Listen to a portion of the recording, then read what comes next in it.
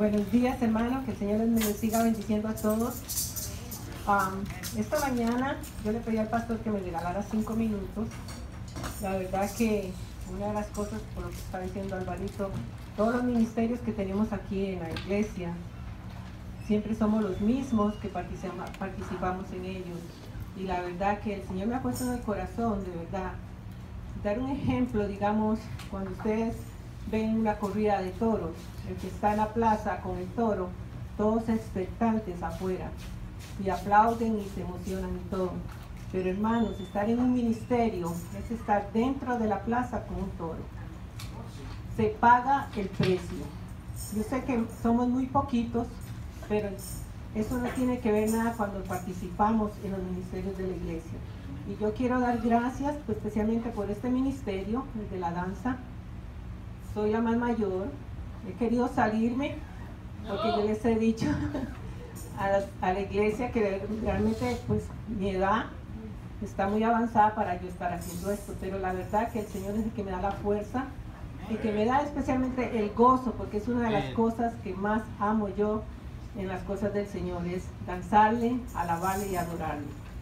Esta, esta mañana yo le pedí al pastor que me diera cinco minutos porque quiero, la palabra dice que hay que honrar a que honra se merece.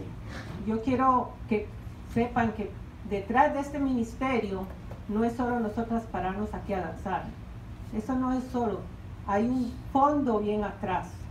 Hay gente, hay hermanos, como la hermana Elenita, que le puso al Señor en su corazón comprarnos la tela. Hicimos estos trajes porque ella compró la tela. También hemos hecho almuerzos, hemos hecho rifas para costearnos todos los trajes. Gracias al Señor que me dio un don, porque es, es de Él el don de coser. Y entonces Lupita está aprendiendo a ser diseñadora. Ella diseña. Y yo coso.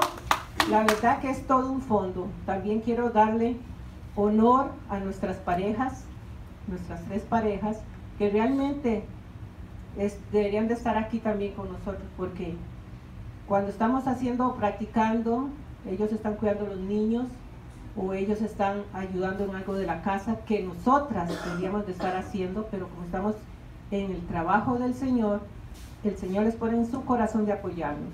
Yo le doy muchas gracias por mi pareja, porque realmente...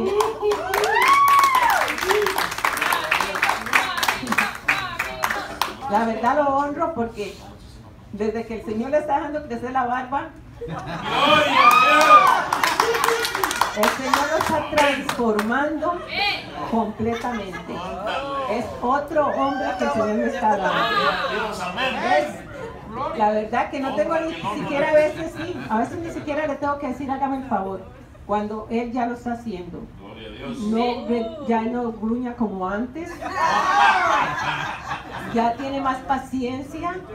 Y solo el Señor de verdad o pasamos orando, yo tengo 30 años de estar en las cosas del Señor.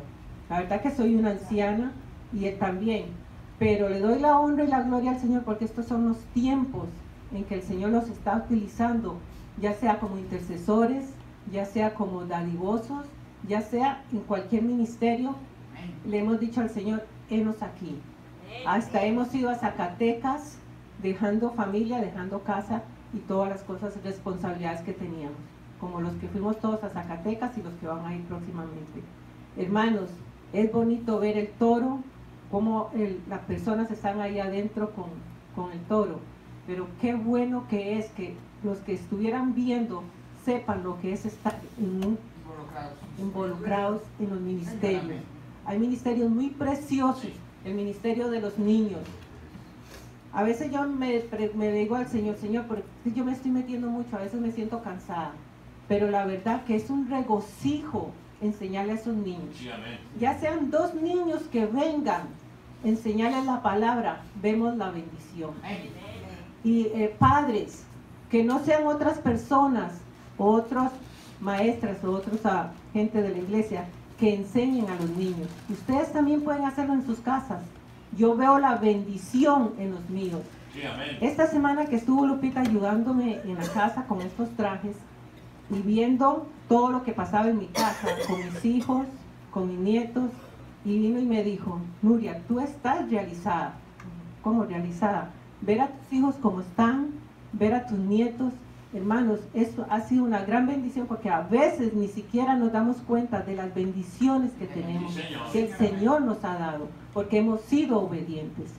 Yo acepté al Señor en mi corazón cuando mi niño, el más pequeño, tenía seis meses de nacido.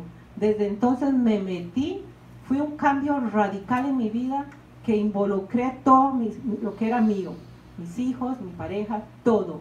Y hasta hoy en día, después de tres años, todavía estamos involucrados porque los nietos míos están involucrados también. Mírenla cómo es a Estefanía, así el domingo pasado estuvieron mis nietos igual acá. Es involucrarlos, es decir, Señor, yo estoy aquí porque tú me has puesto para guiar a quien sea. Que el Señor les siga bendiciendo y muchas gracias.